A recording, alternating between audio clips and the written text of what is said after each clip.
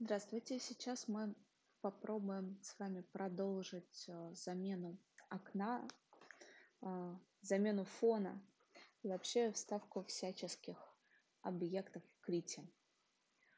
Мы сейчас находимся на том этапе, на котором мы закончили в прошлый раз. Мы заменили звездное небо, точнее заменили Норильск на звездное небо, сделали отражение э, флага, сделали его двойным, и чуть-чуть смазанным сделали отражение лампы полупрозрачным и поменяли тон звездного неба. Дальше мы будем вставлять э, героев внутрь. Нам нужен субъект, который будет на наше звездное небо смотреть. И нам нужно что-то за окном помимо ландшафта. Ну, потому что интереснее, когда не только ландшафт, когда есть какой-то объект, вписывающийся или странный. И, может быть, еще что-нибудь поменяем в интерьере. Начнем, наверное, с объекта за окном. А, я выбрала для этого космонавта. Я уже не помню, почему я выбирала. Я просто стала что-то гуглить. Мне понравился э, советский космонавт. И я решила его для отсылки к ретро-футуризму за окно поместить. Я открываю новый файл. Я сейчас не буду его вырезать тщательно, потому что я просто вырезала его обычно совершенно способом. И просто имеет такие неровные линии, ну и мне кажется, просто будет тратой времени сейчас показывать вам, как это делать, учитывая то, что мы уже вырезали окно. Поэтому я сразу его сохранила в формат, э, после того, как вырезала формат PNG. PNG, он сохраняет еще и альфа-канал, в отличие от JPEG. И сохранила его с вырезанным фоном. Единственное, сейчас я его переименую в космонавта. А, скопирую слой и перенесу в нашу композицию. Вот он появился у меня в слоях. С помощью стрелочек я его всплыву, заставлю всплыть наверх. Не видно, не видно. Хм. А, вот, видно. На самом деле он просто очень-очень-очень маленький космонавт. Надо его пониже опустить. Вот он будет. А, сейчас я могу его переместить пониже. Ну, под все наши отражения, естественно, его надо поместить. И под наш бэкграунд, но над космосом. Думаю, это понятно. Вот. Но он у нас парит в невесомости, поэтому я предлагаю его не обязательно размещать так. Я бы его разместила как-нибудь вот так вот. Вверх ногами. Он чудовищно маленький и очень плохого качества.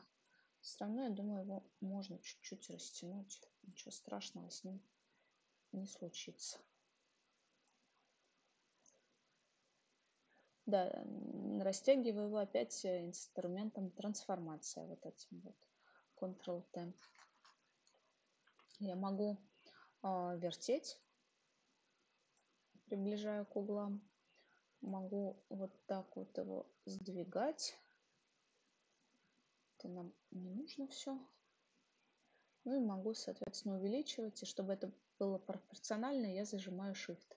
Потому что космонавта мне бы хотелось оставить пропорциональным.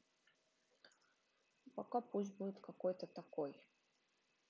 Не знаю, сколько его видно. Вроде видно. Все-таки мне не нравится. Я его еще чуть-чуть сдвину. И чуть-чуть поверну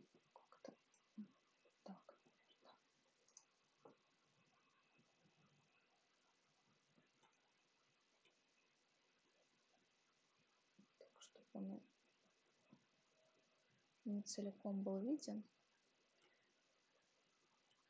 чтобы не было ощущения, что он там цепляется за наше отражение лампы. А, также абсолютно я применю на него какие-нибудь фильтры. Но я применяю просто самый простой опять. Чуть-чуть его дестурирую. Нечего быть таким ярким. Наверное, все-таки чуть-чуть сделаю потемнее. Не супер светло за окном. Нормально, мне кажется.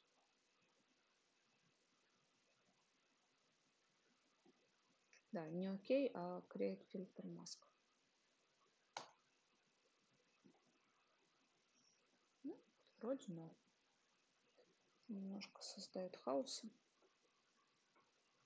По нормально. А, не забываем сохраняться. Ctrl-S. А, да, все, сохранилось. Этого космонавта, чтобы он не мешался, закроем. Сохранить ничего не надо. Дальше. Дальше я хочу ставить объект внутрь сцены. А, я хочу, чтобы объект был эмоциональным, поэтому я гуглила недоумевающий космонавт и нагуглила такое вот стоковое изображение. Сейчас его открою. Ну, не бесплатное, стоковое. А, оно, кстати, с прекрасным текстом, а, переведенным с английского, видимо, было удивленный мужской космонавт, мельком взглядывая вверх. Очень поэтичное описание. Я прониклась, я думаю, что я даже помещу его в рамочку и повешу на стену чуть позже. Там еще был кусочек текста уже дальше в описании, который мне понравился. Вот я его открываю. Что мы здесь видим? Мы здесь видим кучу watermarkов, потому что это изображение не бесплатное.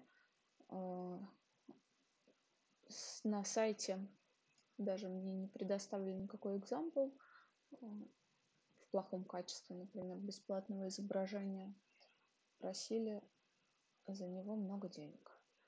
Я решила, что, в принципе, для примера покупать я его не хочу, но вот этот удивленный мужской космонавт мне понравился, поэтому я э, все равно решила его оставить. Поэтому будем работать с ним, с тем, что есть.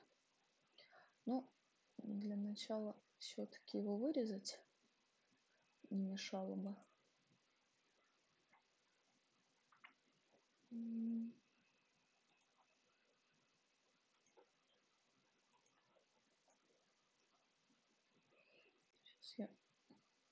Можно пробовать вырезать э, инструментом волшебная палочка. Так, что у нас? Нормально.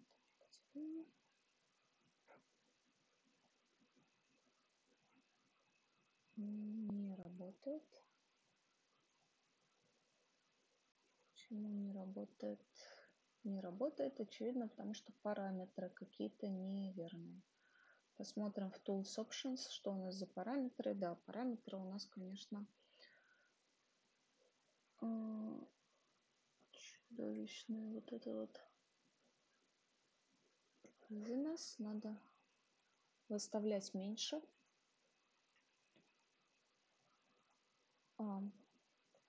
Грубо говоря, это параметр отвечает за то, насколько, ну, за нечеткость, а, насколько мы хотим а, выделять пиксели, приближенные к значению референсному. То есть то, куда мы тыкаем, это у нас а, этот пиксель, это референсное, референсное значение получается.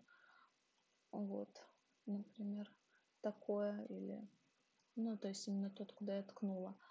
И этот параметр отвечает вот fuzziness за то, что насколько различаться могут соседние пиксели в выделении. То есть точно ли мы должны близко к нему а, быть по цвету или нет.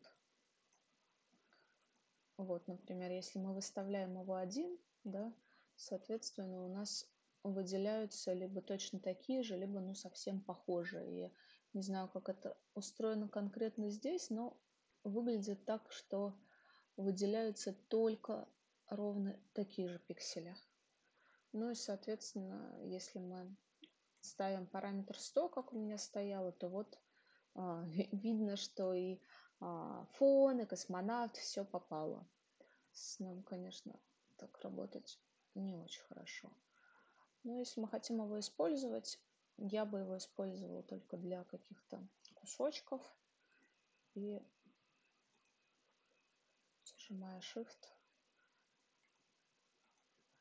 какие-то кривые линии это упрощает обрезку кривых.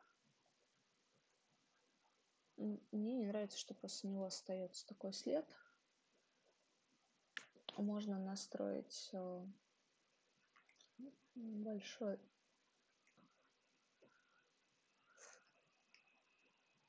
перо.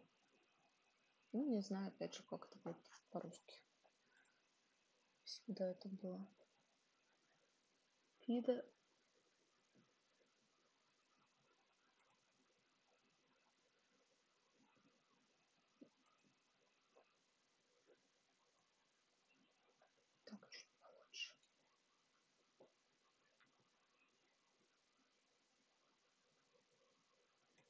Можно еще сделать вот так вот. Оно тогда как бы наш край а, сделает немножко прозрачным. Это очень удобно для последующего наложения, но иногда с этим трудно работать. Например, а, видите, оно удаляет тогда ну, оно не все удаляет, да, оно оставляет э, слой, небольшой слой прозрачности и здесь. Я просто это использую, когда уже все удалила и хочу только чуть-чуть э, край подобработать, вот как здесь. Я использую эту галочку. Вам как удобнее. На самом деле я бы здесь просто продолжила работать с полигональным выделением. Я в таких случаях люблю работать вручную.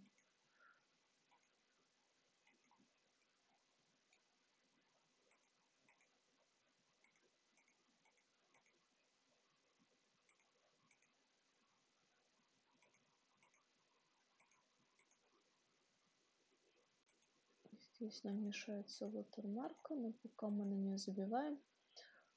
А,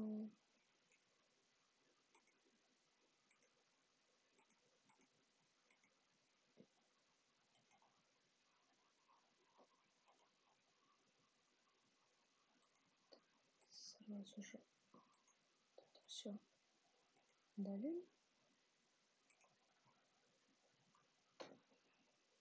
Нормальный край, в принципе. Здесь нам вообще просто. Так, так, так. так.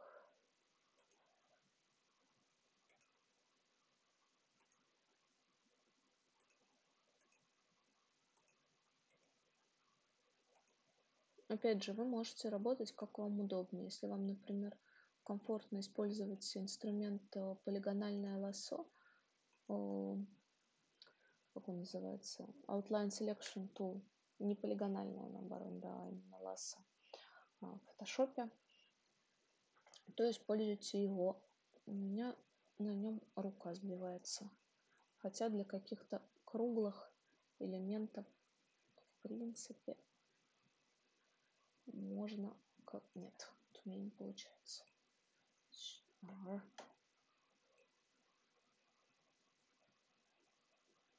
Со снегом это было... Нет. Со снегом это было определенно хорошо.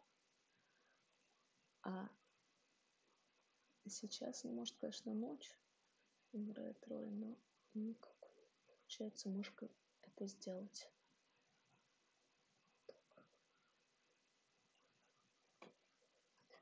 Вырежу кусок им. Дальше все-таки вернусь э, к своему поточечному инструменту. Прекрасному.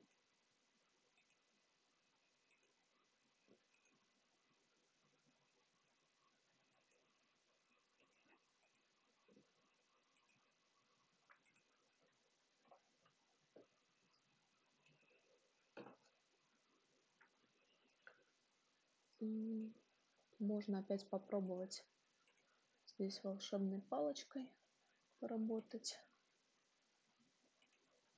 В зависимости от того, как вам больше нравится.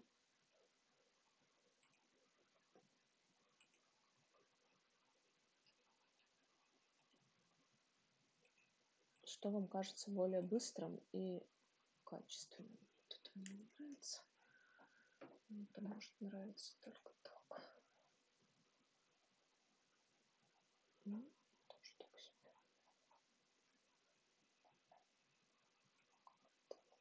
История.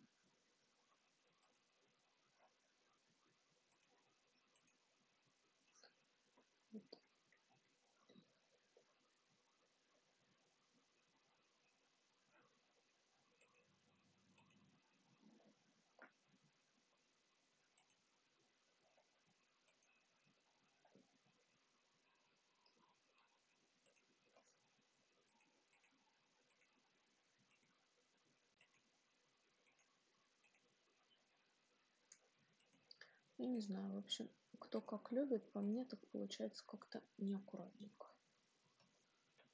Ну, какие-то махры дурацкие. Можно, конечно, так настроить, наверное, чтобы этого не было. Тут у нас все-таки довольно контрастная зона, белый и зеленый.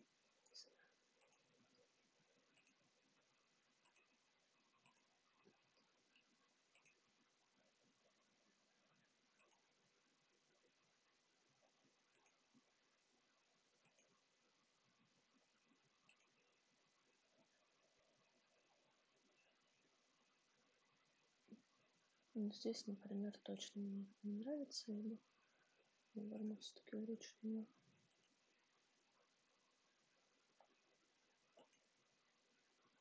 Ну, мне кажется, что вручную получается в таких случаях качество.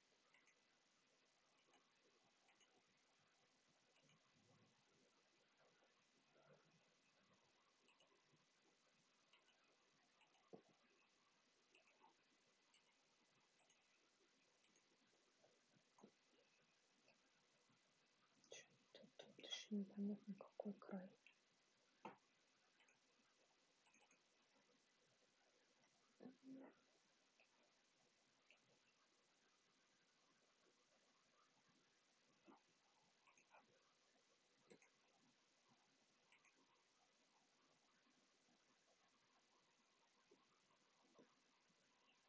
Там все-таки чуть-чуть размыть.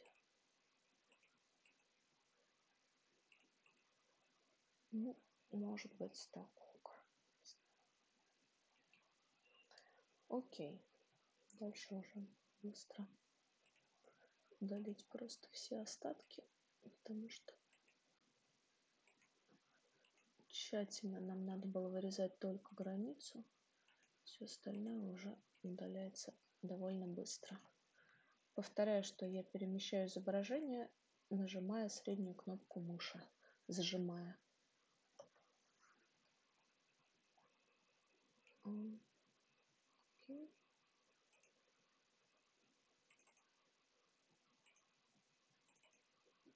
Что ж такое? Это нам тоже не нужно. Вот наш прекрасный космонавт. Давайте его кропнем то есть обрежем изображение под него с помощью Crop Tool. Наверное, по-русски это будет обрезание.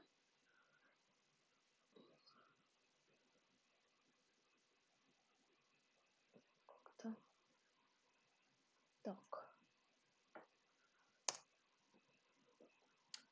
Окей. Что мы делаем с нашим космонавтом дальше?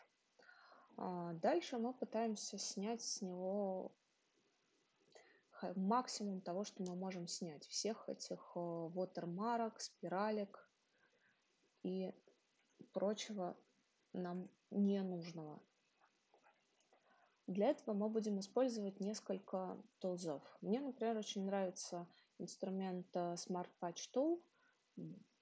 Умная заплатка. Могу только догадываться, как она называется по-русски. А, итак, э, мы настраиваем ее размер.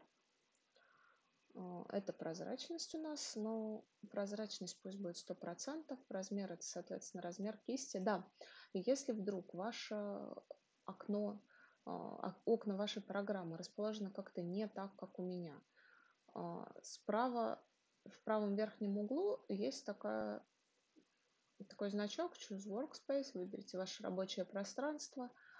И сейчас у меня стоит дефолт, видно. Можно, например, ставить а, другие рабочие пространства.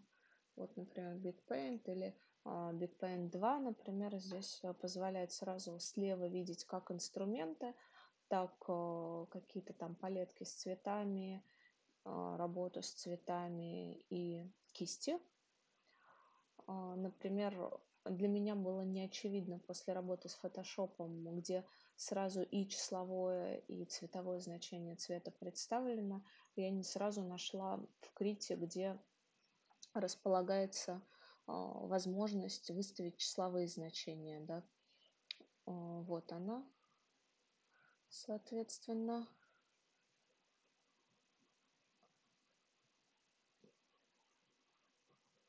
Да, это у нас RGB модель. Ладно, к этому вернемся позже. А, и вернемся в дефолтное.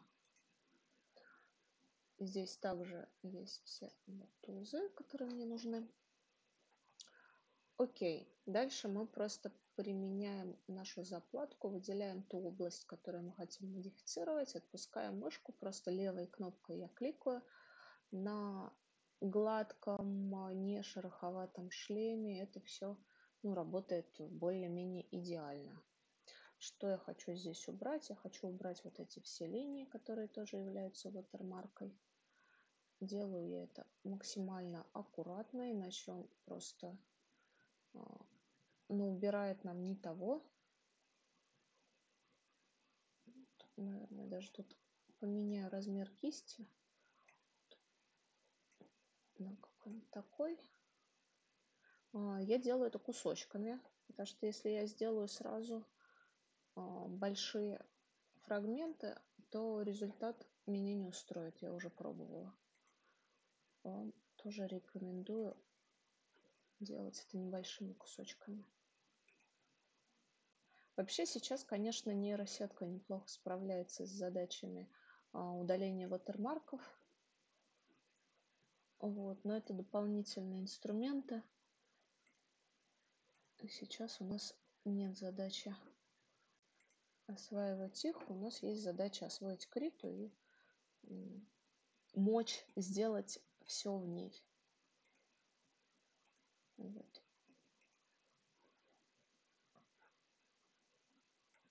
Какая а, ошибка. Ну ничего. Ошибку меня простили.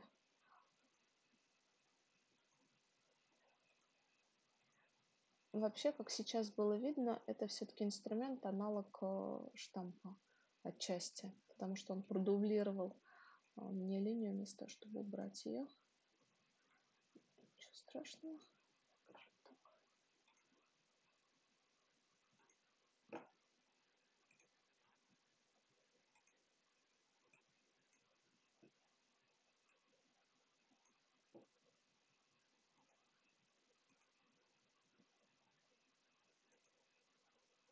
Пока я повторяюсь, мы чистим только шлем.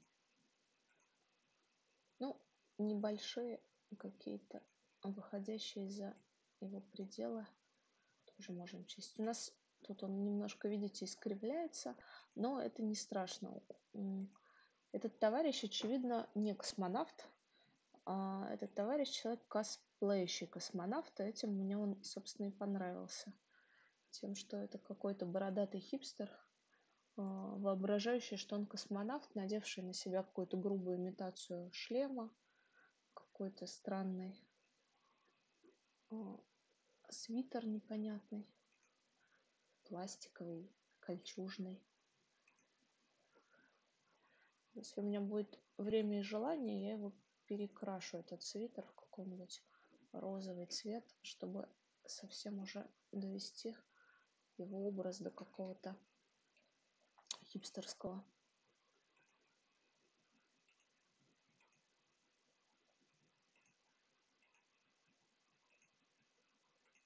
Так, методично удаляем все эти их дурацкие watermarки.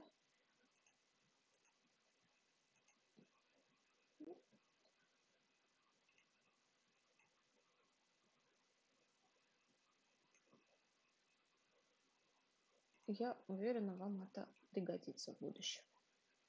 Потому что все изображения обычно дорогие. Я вас призываю пользоваться либо бесплатными всякими ресурсами, их много, либо если уж вам очень понравилось что-то платное, ну вот удаляйте ватермарки как мне этот хипстер-космонавт. Ну, низ шлема вполне себе вычищен.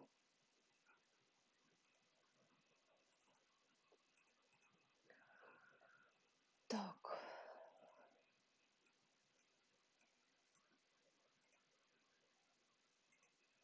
Даже подправлю чуть-чуть шлем. Нет, мне не нравится Ctrl-Z.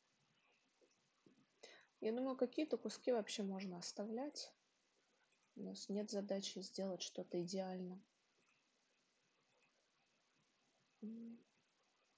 Если вам что-то не нравится, не забывайте нажимать Ctrl-Z. Это вас спасет.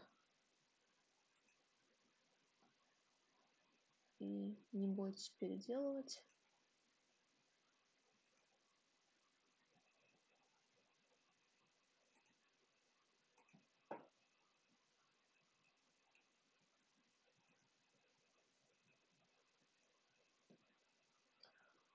Вот.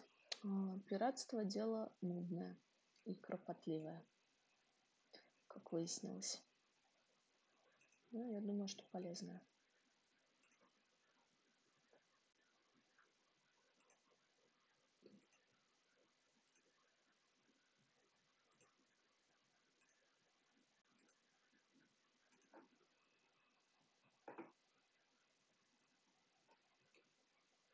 Ну, вот здесь я думаю, что он тоже справится.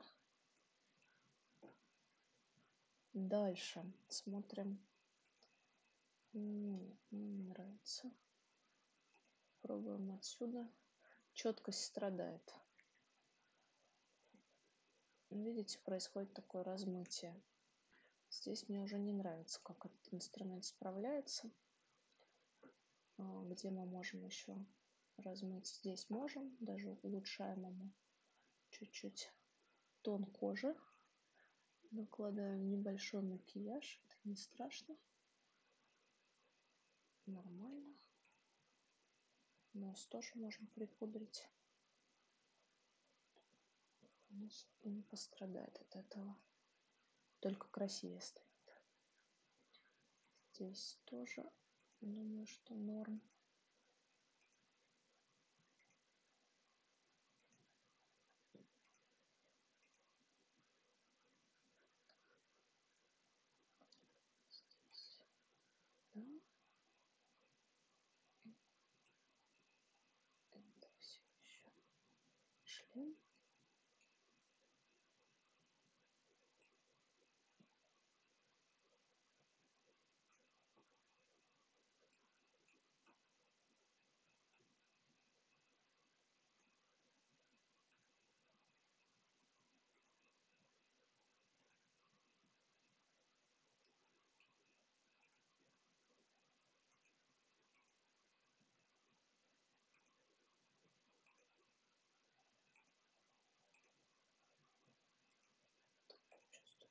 Здесь это все еще может справиться. Сейчас увеличу размер и посмотрю, правильно мое чувство или я обманулась. Думаю, да, что не страшно. Чуть-чуть четкость пострадала. А, но дальше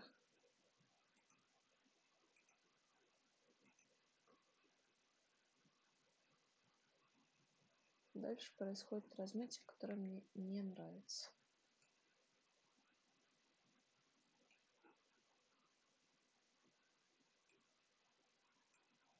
Но здесь могу размыть.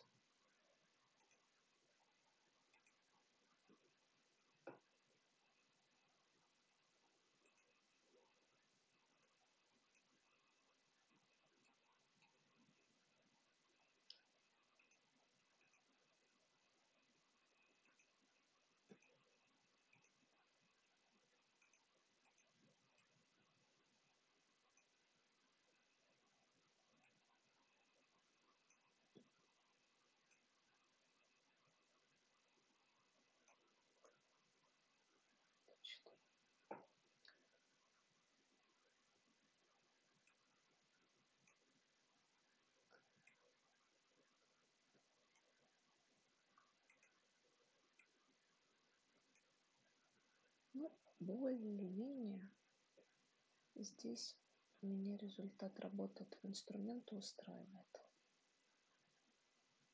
Не сохраняет совершенно фактуру этой имитации железа или какого-то костюма, но это не страшно. Мне все равно эта фактура не нравится.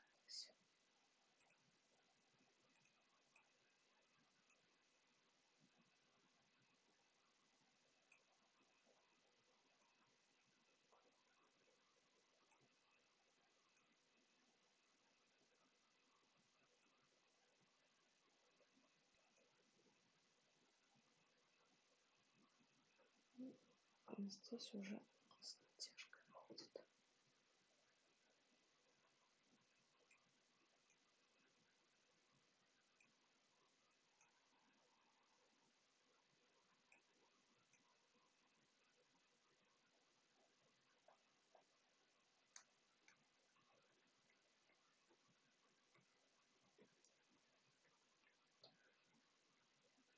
Здесь либо оставим этот watermark, либо будем менять его другим способом. Мне не нравится, как получается с помощью этого инструмента. Итак, возвращаемся к его лицу. Ухо мне не нравится совершенно. Посмотрим, изменит ли ситуацию, если мы чуть уменьшим.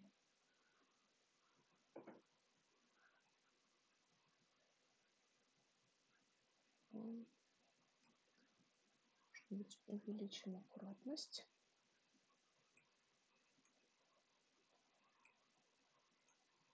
Нет, это не помогает. Уменьшим аккуратность. Я призываю вас пробовать. Тоже не помогает. Средняя аккуратность. Как была, Окей. Я думаю, что здесь мы будем а, использовать более понятный и более предсказуемый инструмент. Это Clone Stamp. А, в фотошопе, тех, кто занимается фотошопом, этот инструмент представлен явно. Вот здесь а, на панели инструментов. В Крите я с удивлением его здесь не нашла. Еще раз проговариваю, Крита я начала пользоваться вот на этой неделе в связи с нашим курсом прекрасным. Срочно пришлось э, переключаться с фотошопа привычного на криту, потому что она бесплатная. Фотошоп пиратить здесь ну, никак нельзя. Не нашла я этот э, клон стамп и узнала, что он все-таки представлен, но он представлен в качестве кисти. То есть мы выбираем кисть, и дальше, когда мы выбрали кисть, у нас есть куча опций в Крите, что какой-то кисть может быть. А, Соответственно, вообще Крита часто используется для рисования, для рисования каких-нибудь комиксов, персонажей, картинок.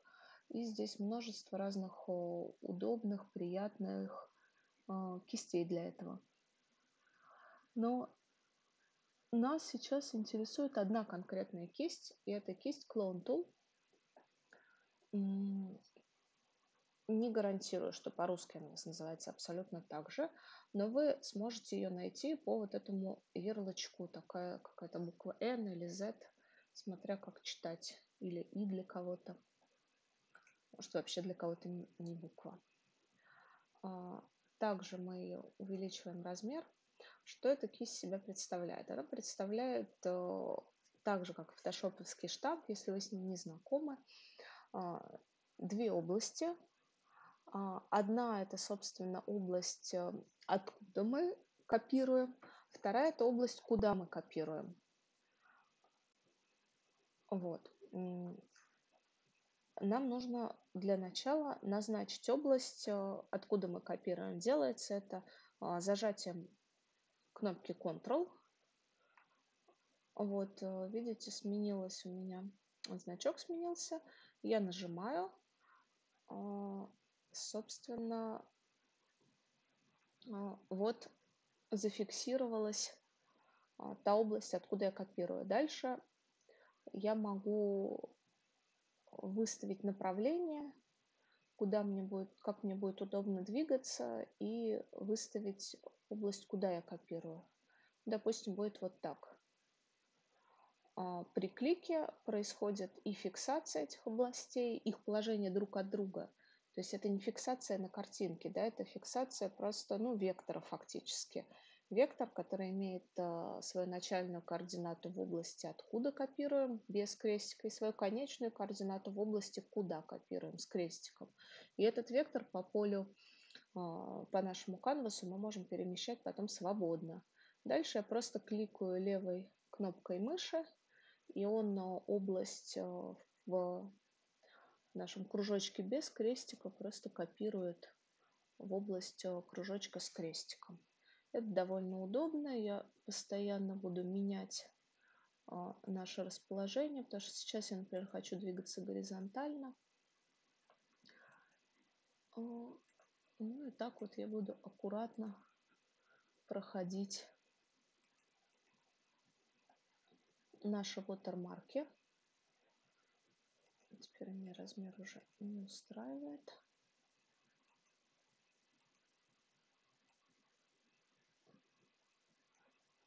Видите на лоб. Ну, такая себе кропотливая работа. Опять же, самое то для... Я сейчас, мне кажется, пол третьего ночи. Вообще прекрасно.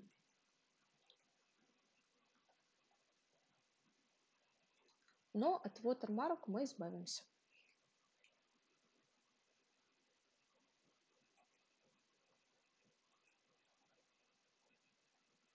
Да, можно делать не кликами это, можно возить, зажав кнопку мыши, если вы понимаете точно, что вы откуда хотите копировать, то а, не обязательно вам кликать.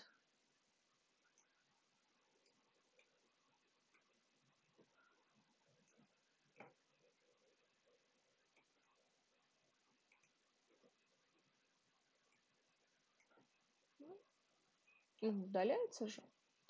Удаляются все эти наши дурацкие линии.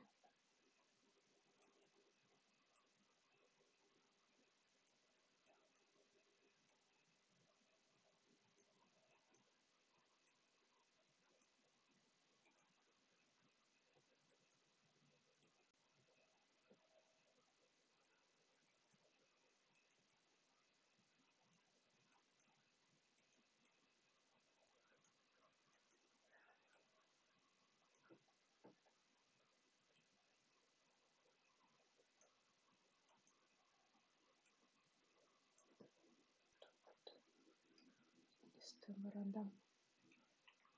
Что у нас дальше? Нос.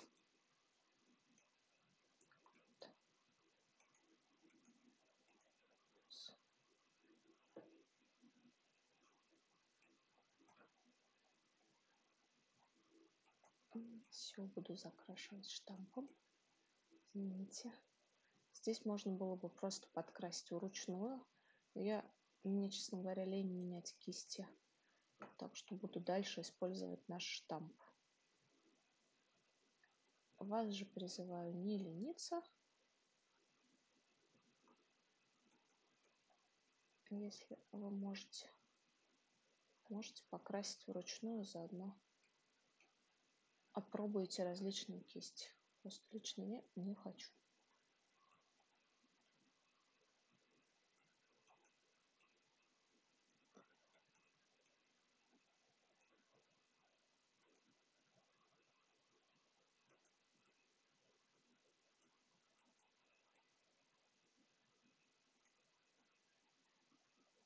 Норм.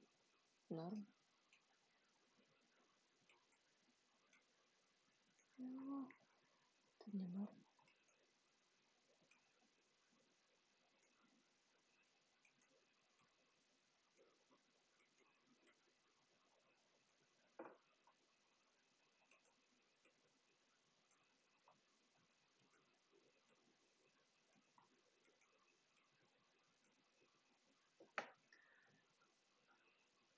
На самом деле эта методичная работа покажет вам, насколько вы вообще заинтересованы в данной картинке.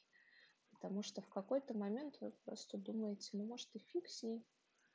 Не очень-то она мне была нужна. Но вот я как-то к своему хипстеру-космонавту прикипела. Поэтому я его оставляю. Ну и вообще этот инструмент клон штамп, я его очень люблю, использую его также в видеомонтаже. Там он абсолютно такой же, только развивается во времени.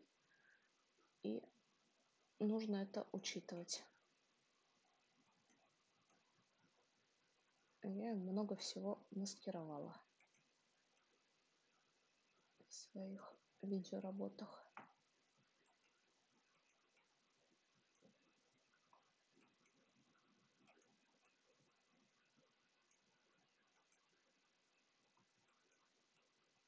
Ну и надо сказать, что видео это, конечно, на производительность сильно влияет. Если фото не страшно, то представьте там тысячу кадров видео. Это, конечно, ого-го.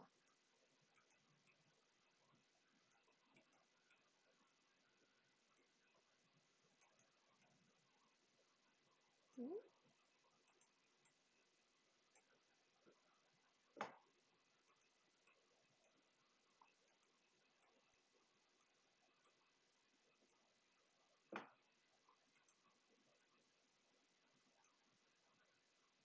ухо.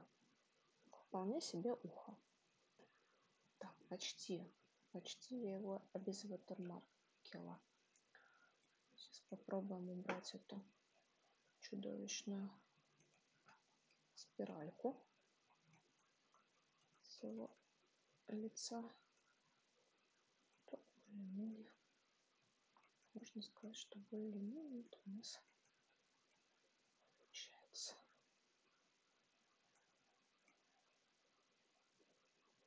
плотненько.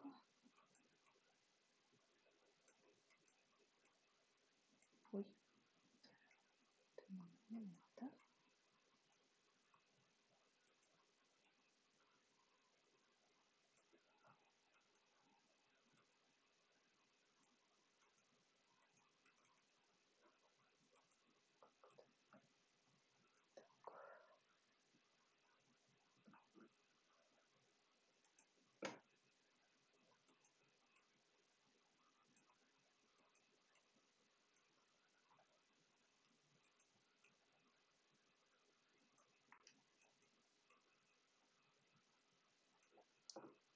Так, ну что, вот была спиралька, и нет никакой спиральки.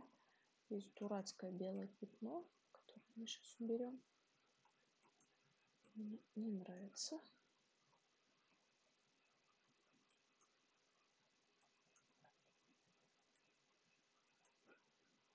Так. Ну, нормально, все, никакой спиральки. Все хорошо. Здесь у нас что, тоже была вот марка? Непонятно. На всякий случай берем. Так, осталось вот этот кусочек брать. Это тоже делается не супер сложно. Ввели, убрали.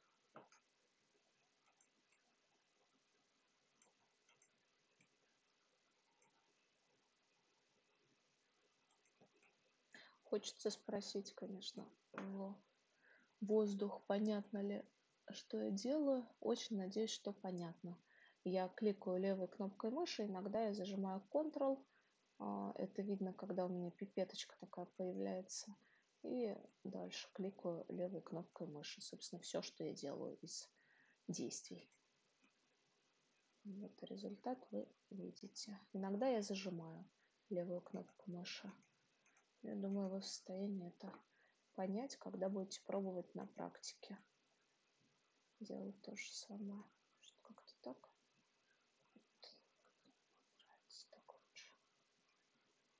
Ну что, отлично, по-моему, получилось лицо. Все, watermark убрали. А, хотели попробовать еще убрать вот эту фигню. Не знаю, мне кажется, лень, ее можно убрать. Просто это не всегда просто.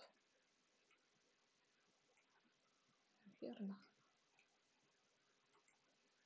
Может, да.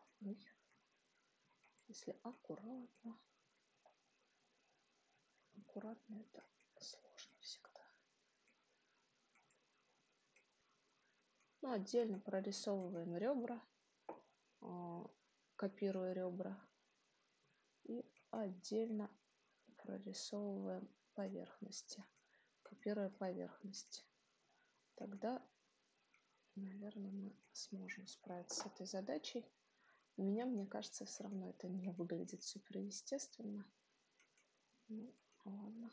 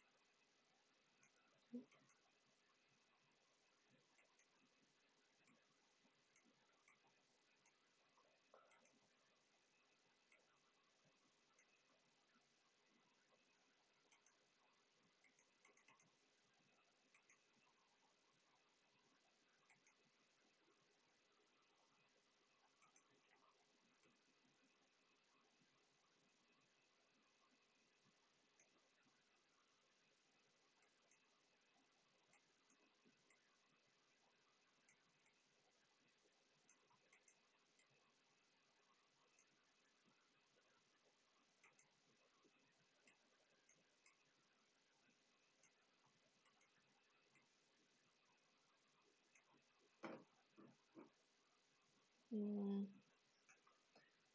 себе какой-то результат.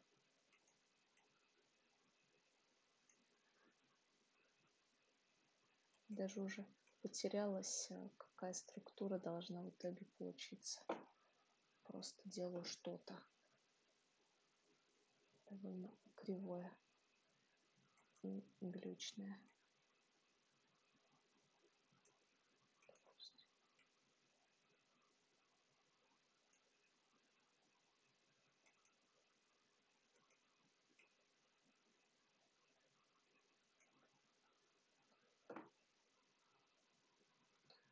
Ну, это похоже на размазанное нечто. На watermark это больше не похоже. Может быть, стоит попробовать добавить резкости, взяв ее совсем из другого угла. Ну, так может даже лучше.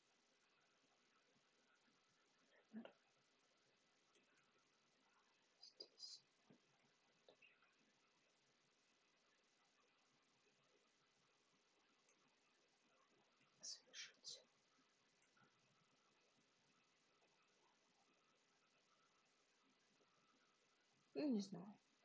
Мы не будем смотреть на нашего космонавта там вблизи. Думаю, что Думаю, что сойдет. Итак, мы потратили очень много времени на все наши манипуляции, но я думаю, что оно того стоило. Теперь вы умеете а, удалять watermarки с понравившихся вам рисунков. Так, еще раз я на всякий случай смотрю, что у меня выделено. Вроде все нормально. А, я выделяю сейчас прозрачную область, потом нажимаю Ctrl-Shift и инвертируя. А, вообще у меня есть какие-то странные здесь артефакты. На самом деле пофигу, кажется.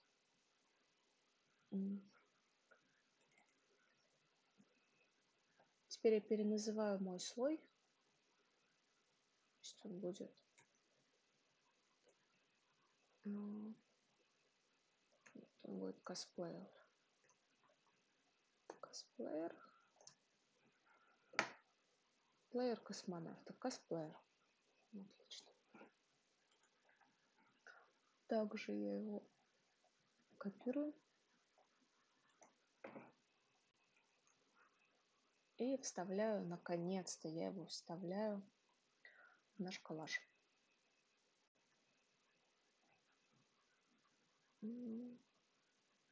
Выведу на самый верх, чтобы посмотреть, где он у меня.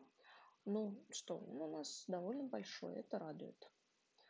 Я хочу, чтобы он сидел где-то и вглядывался в окно. А, не очень он вглядывается в окно сейчас. Это его взгляд вообще-то направлен, конечно, совсем не в окно, в какую-то другую точку. Если бы он был 3D, я бы его, конечно, сейчас развернула. За это я очень люблю 3D, то, что можно взять, развернуть, направить взгляд куда надо. С плоскими изображениями такое не прокатит. Что можно сделать? Можно его раз чуть-чуть уменьшить. Ну и так, я думаю, что человеческое лицо ну, должно быть поменьше пластинки. Вот. Теперь вот если так его поставить, то в принципе похоже, что он смотрит в окно. А, смотрит в окно на, допустим, воображаемого космонавта СССР, грезит по ушедшему советскому футуризму, называется ретрофутуризм, такие грезы, или галлюцинирует, представляет, что за окном космос, космонавта, надел на себя пластиковый шлем, ну, как-то так. Думаю, что норм.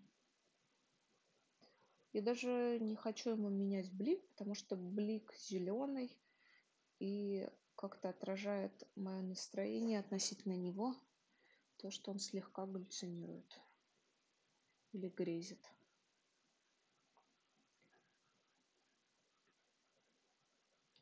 У него очень удачно лег блик на лицо, как будто от лампы.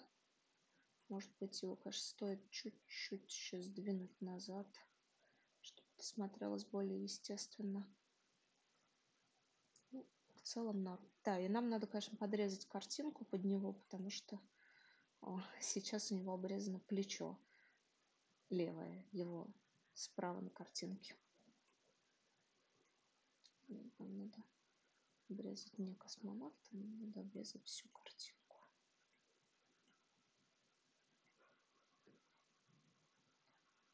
Ну, надо сказать, слева я тоже немножко обрезала. Такая широкая, но широкий коллаж нам не нужен.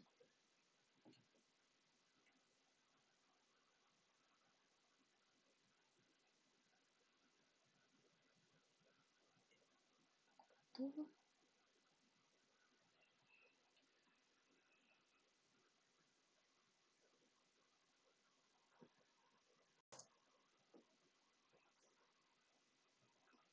Ну, мне очень нравится, как он смотрится, и я бы даже не стала менять его а, цветовую температуру, насыщенность. Он как-то вполне вписался. Могу, конечно, попробовать.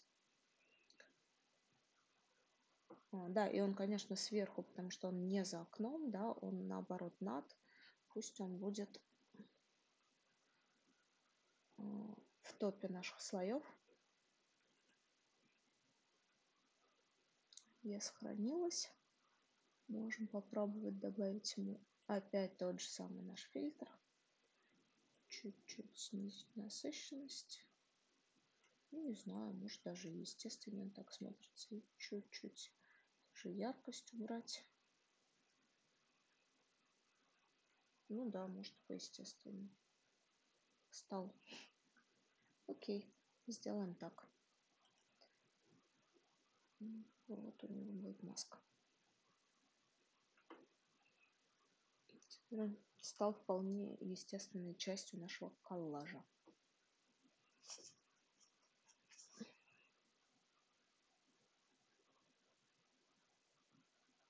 Окей. А, нужна ли нашему космонавту тень? Тень нашему космонавту не нужна, потому что тень от шлема а, уже есть нашему косплееру космонавту. Тень от шлема уже есть на нем. Блик очень удачное освещение сверху, соответственно, тень на нем самом ровно там, где надо. Мы ничего не будем менять с этой тенью. Нас все устраивает. А, для того, чтобы поиграть с тенью и добавить абсурдности нашей картинки, в принципе, сейчас она уже законченная.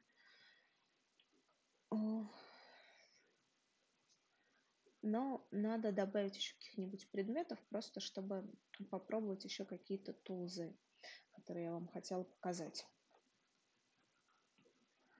Давайте добавим на стенку рамочку и изменим ее пропорционально нашей фотографии. Заодно поэкспериментируем с инструментом а, перспективное преобразование.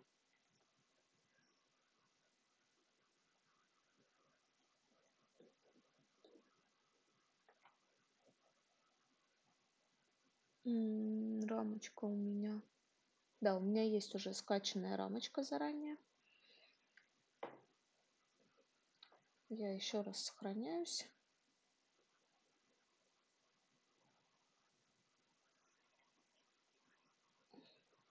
Удаляю нашего удивленного мужского космонавта. Хотя, в принципе, наверное, я его хочу сохранить в большом объеме. Прежде чем удалить, сохраню его как PNG-шку себе. Вдруг я его еще раз захочу а, использовать. Уже таким подрезанным качество меня устраивает. Я сохраняю его а, в большом формате. Я его не сжимаю сильно. А, я сохраняю interlacing. В принципе, все, что мне нужно. Окей. Все, он сохранился. Могу его закрыть.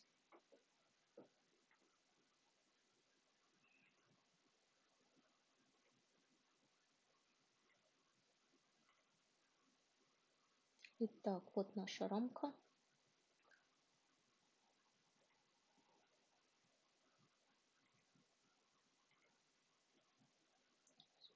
Мы подрежем.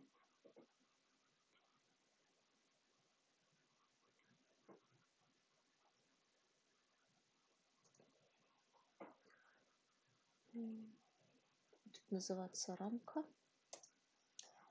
Прежде чем мы ее будем помещать на стену, что нам нужно с ней сделать? Нам нужно что-то в нее вставить.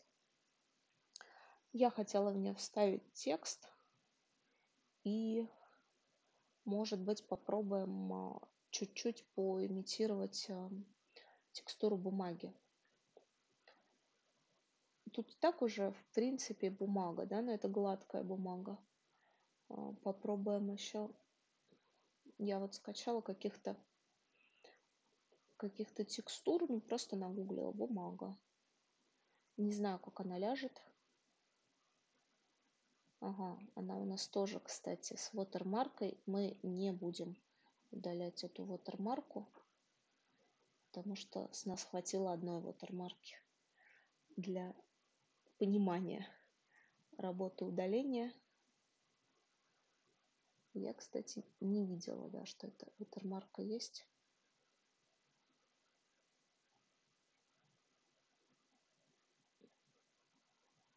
Я думаю, что мы просто скопируем. Ну, окей, чуть-чуть мы, может быть, удалим. Потом все-таки скопируем.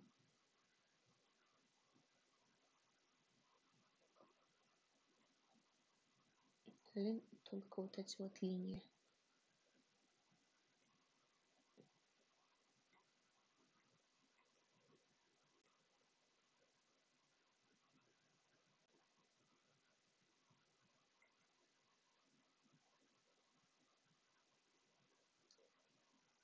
Что ну,